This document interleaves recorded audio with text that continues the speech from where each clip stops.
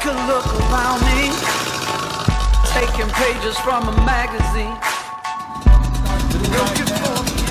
You know what I want to do when I grow up? Ride wheelies. Okay. All right, well, just fire away, and I'll answer these questions for you. How old were you when you started riding a dirt bike? I started riding a dirt bike when I was five years old.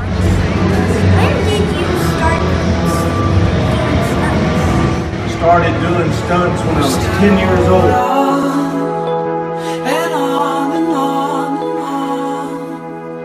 Cause we're gonna be